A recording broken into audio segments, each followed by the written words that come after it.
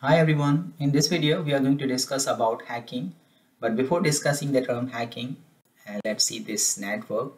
So we have some computer system on that computer system we can have different application programs like we can have banking application where we want to maybe send and receive some money from somewhere or we can have some gaming applications or maybe some other um, software programs used by some specific organization so we can have different applications. They are running on some computer systems and then we want to share this information with other users and for that we can have infrastructure like we can have switches we can have routers we can have firewalls and which which helps us to send our information to other users.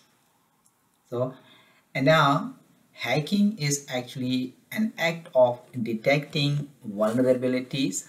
So that is an act of, uh, of uh, mm, detecting vulnerabilities or the weaknesses in those application programs or in operating systems or weaknesses maybe in these hardware devices.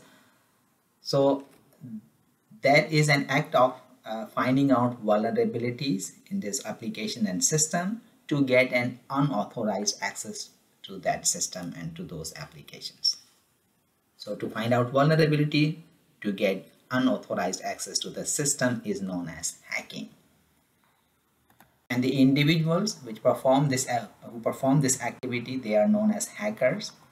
And so the hackers actually they try to find out these weaknesses in these uh, system to get access to these uh, applications or to those to that infrastructure.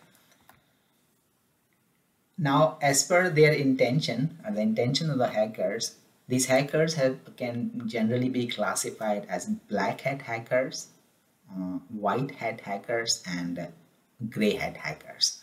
So black hat hackers, these are the hackers, they use their skills and knowledge to find out the weakness in the system, but with malicious intention maybe they want to steal the credit card information which may be saved here. And without without the permission from the organization and without the permission from the individual they do it like that with malicious intentions. And uh, black hat hackers are the ones who do it for their own benefit. And sometimes there are some um, maybe organization there are some sometimes they are also state sponsored they sponsor them against some enemy states like that.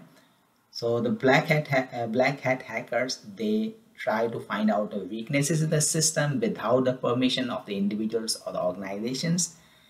And then they try to get access to your system. To get, get access to your system it means they can get control of your system or they can steal some of the data from your systems. And then we have white hat hackers so white hat hackers are the hackers which use their uh, skills and knowledge to help organizations to find out the vulnerabilities in their system.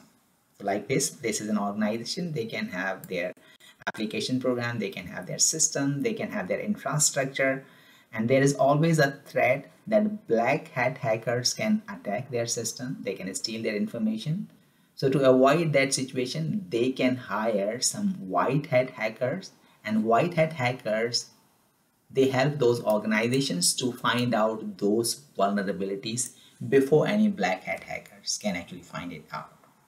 And they do it with the permission from the organizations or with the permission from those individuals.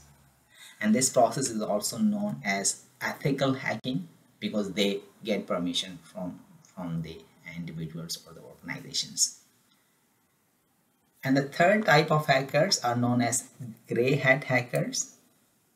And these hackers, they use their skills and abilities to find out the weaknesses or the vulnerabilities in the system. And uh, in this case, they, they also don't get permission from the organization, but they don't do it with uh, normally with the malicious intentions it means after finding out those vulnerabilities, they can share their findings with the organizations. And then maybe they can charge the organizations for that purpose. But they somehow come in between black hat hackers and the white hat hackers. so this was the discussion about hacking in general and uh, different types of hackers black hat hackers white hat hackers and gray hat hackers uh, hopefully this discussion was a bit helpful for you and thank you thank you very much for your time. Hope to see you in some other videos on hacking